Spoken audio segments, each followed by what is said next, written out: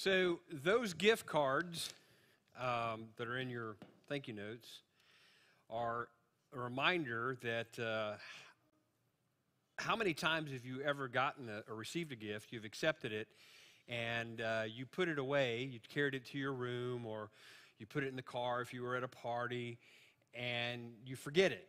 I mean, you kind of lose it. Like you get a new pair of pants, you put them on a hanger, and you hang them in the closet, and one day later, when you're much heavier, you can't wear them, and they were new a year ago. Or maybe you tucked it underneath the, the bed and you thought, okay, I'll get to that. You're just trying to straighten your room. You've done that, huh? Right? I mean, you've been there. And that's really frustrating. Um, and I think in so many ways, uh, oh, sometimes you regift it, right? You don't, you know when you got that gift, I'm never going to use that. It's a potato peeler, and I don't peel potatoes, you know, and I'm never going to use it. So you put it away and you think, I'll regift that to somebody else. But um, for many Christians, the Holy Spirit is somewhat like that forgotten gift that you put it away.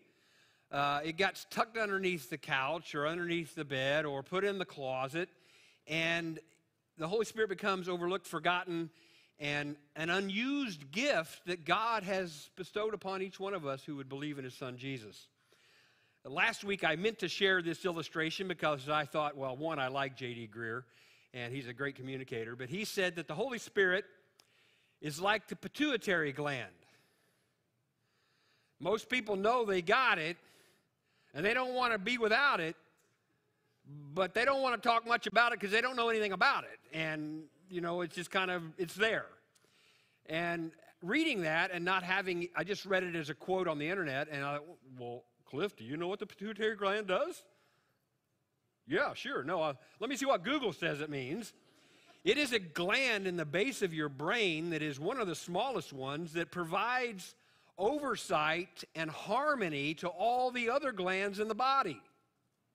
Think about that. JD that's on to something because the Holy Spirit is that which brings unity, which brings harmony to the body of Christ. So today we pick back up at John 14 with the um, probably the least known disciple of the 12. This is Judas, the other Judas, mentioned in uh, Luke 6 as Judas, I think, son of James, but it's not Judas Iscariot, the one who would betray Jesus, asking Jesus a question. And Jesus then, he really doesn't answer it directly, but he expands upon it and he explains to us that through his love and our love of Him and our obedience to Him and the gift of the Holy Spirit, we can receive peace. And basically, we receive part three, if you will, because I've been doing this for three Sundays in a row the cure for a troubled heart. So, if you have your Bibles, John 14, we'll look at verses um, 22 through 27 today. Those of you who are with us for the very first time, we've been working on the Gospel of John for a year and a half. Here we are. Then Judas, not Judas Iscariot, said, But Lord, why do you intend to show yourself to us and not to the world? Some commentators say that goes back to the earlier verses when Jesus is talking about, although the world does not see him, you see me, and it's that type of thought. There's also a second coming thought in this. There's also the fact that he, they're still afraid that Jesus is going to be taken from them, even though he's told them that's going to happen, and they're confused. So Judas is asking this question, and Jesus replies in verse 23 If anyone loves me, he will obey my teaching. My Father will love him, and we will come to him and make our home with him. He who does not love me, will not obey my teaching. These words you hear are not my own, they belong to the Father who sent me. All this I have spoken while still with you. But the counselor, that's that word paraclete, the Holy Spirit, whom the Father will send in my name, will teach you all things and will remind you of everything I have said to you. And like the bookend from John 14, verse 1, let not your hearts be troubled. You believe in God, believe also in me. He says, Peace I leave with you, my peace I give to you. I do not give to you as the world gives. Do not let your hearts be troubled, and do not be afraid. Let's pray. Father, as we have uh, looked once again at these words that are to bring us comfort, to bring a healing for our troubled hearts, we pray that the gift that you have extended to us would not become that forgotten gift. Whether it be the Holy Spirit we're talking of or the very peace that only you can provide, let us use that gift. Let us show that gift to one another. And Father, help us to not be afraid. For with you we can overcome the world. Speak to us in this hour, for we pray it in Christ's name. Amen. So, knowing it's a longer service today, it's a one point sermon as opposed to the pointless sermons I normally preach. one point accept his peace. Accept his peace. What a priceless gift. I should stop right there. You know, those of you who've been in the military, I used the word priceless one time in a OPR. That's an officer's performance report. And the general sent it back to me and said, Chaplain, you, you used the word priceless. To me, that means nothing. So think about that. If it's priceless, it can mean zero, but I mean it in the most highest way. Jesus has given us the most extravagant gift he can. God has given us the most extravagant gift he can in the form of his Son, and the Son has promised the, the Holy Spirit through the Father. And it makes me think of all the gifts that I had to give in the military. How many of you, whether you're military or civilian, you have, hey, we're, you know, so and so's going away. Give some money to the going away gift. Have you ever had to do that? Look, shake your heads. No, you've never done that. Okay, well, bear with me. Um, my first assignment here at Lackland, 37 chaplains came and left while I was there in four years. Those of you who are military, you know, a lot of places have what they call a landing fee. You get there, you give them $100, and that covers your going away gift. I mean, it really does. I mean, you never have to pay again because it's a pool, and when you leave, there's a $100 gift that you get. Uh, Lackland did not have that when I was there. So after giving for 37 different guys leaving, guys and gals leaving, I was like, come on, this is, there's got to be a stop to this. And the more I learned about giving within the Department of Defense, there are ceilings, there are caps you can't give a gift to a commander or a general or whatever it might be that is over a certain amount. Then, of course, there's always that mischievous follower.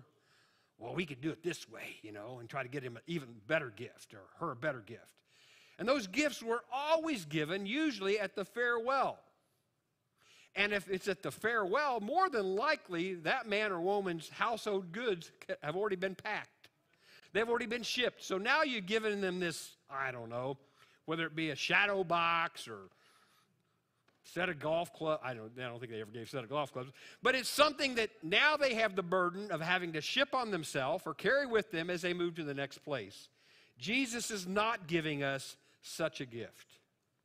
He is giving us something that can be with you at all times. In fact, He wants to come and abide in you. Jesus tells Judas and the others, If you love me, and obey me. The theme this week twist. The twist is that God will come to you. I had to read that again. Look at this again with me. I'll read it again. That's about the second verse. Whoever has my commands and obeys them, he is the one who loves me. He who loves me will be loved by my Father, and I too will love him and show him himself to me. And then he comes down to where I'm talking about, verse 23. If anyone loves me, he will obey my teaching. And there's a, there's a period there. It doesn't say, and then my Father will love him. It says, my Father will love him and will come to him. I think that is mind blowing that the God of the universe wants to be in you, wants to be in residence. That's the same word that he uses, you know, I'm going to build a mansion for you, a room for you, a place for you. God wants to take up a dwelling in your life if you will only love his son. Read in scriptures that before we ever knew him, Christ died for us. But you must receive the Son for the Father to come into you. Hmm. God coming to me. Sometimes we won't obey. And if you don't obey, Jesus basically is telling us that troubled days are ahead for you in your heart if you don't love me and obey my commandments. Then in verse 25, we get the second of five times in this upper room discourse the conversation of the Holy Spirit. He reminds us of this promise that he's told us in the verses from last week. And once again, we see the function. Last week, I talked about all the different ways you can define or explain the Holy Spirit, whether it's an encourager, an enabler, uh, one who would rebuke. I mean, it has parental roles. I even thought of, I don't think I shared this last week, maybe I did, with these, you've done children's plays, right? And often the, the director is on the side encouraging, giving the words, or pulling them back when they're in the wrong place. That too is a way to look at what the Holy Spirit does for us. But He gives us this thing that He will remind you of all that I have taught you.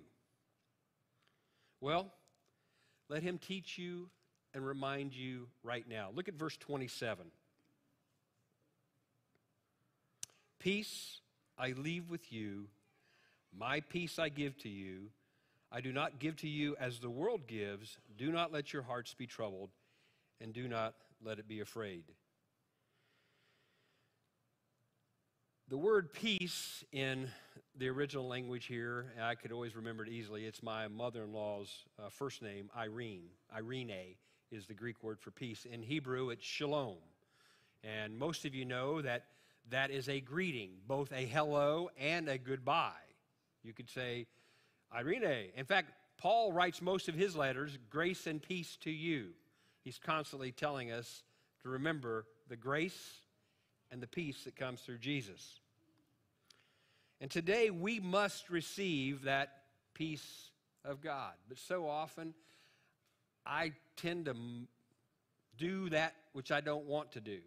I mean, I speak to myself when I preach to you. Hopefully, we have some of the same tendencies. I think if you're human, you would. Paul writes, I think, in Romans 7 that the very thing I want to do, I don't do, and the thing I shouldn't do, I do.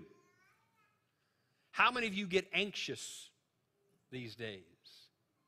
You get anxious for your health. You get anxious for your children, your grandchildren. You get anxious at your jobs. Jesus says, Do not fear. I am with you. He says, My peace I give not like the world gives you still will have the bees that come up and sting your little VBS students and get like five of them stung. That will still happen, but he's still in charge. And thank God no one was allergic and no one, you know, revolted and no one brought the police out because the bees were here. But that idea of receiving and accepting his peace is something that our church needs to practice, and I think it will help us as we combat the anxieties of life. You know, peace is to be that which calms. It becomes that, that fortress by knowing Jesus, by receiving Him and, and letting His Holy Spirit live in us. It, it allows that fortress of peace to combat that which would come at us. And in many churches, many denominations that are, have a little more um, regimented liturgy, passing of the peace is a part of the service. In fact, after the pastor or priest or whomever it is that's been leading the service has had a prayer of confession, sometimes even using kneelers, and I know Baptist churches don't usually have kneelers, and I'm not asking you to kneel because half of you couldn't get back up. Most of you get back up faster than I would. But in just a moment, I'm going to ask you to pass the peace to one another. And in that traditional background, the first person would say, anybody, first let me say, anybody grow up in a tradition that you did passing of the peace? Oh, wow. One, two, three, four, okay, five. Some of you have done that before. Six, seven, all right. You would say, peace of Christ to you, and then what do you say back to me? Peace to you. Yeah, unto you or back to you. Back at you, buddy. It's the idea that you have now proclaimed to everyone, I have the peace of Christ in my life. And I want to share it with you. And you say, I've got it too, and I want to give it back to you, brother. And what a transition that can be for our minds, and what a strengthening it is for the congregation. And that's why it's typically done before communion. So today we are going to share communion, and I'm going to ask Steve and the crew to come up here. They're going to share with you a new song, which is really a communion song. But before Dan comes to lead us in communion, I'm going to ask you to stand and share with one another, not just the person beside you. And this is different than the gripping and grinning that we do often when we welcome one another. Truly share the peace of Christ to the person beside you, and then in turn, you offer that peace back to them. So let's do that now.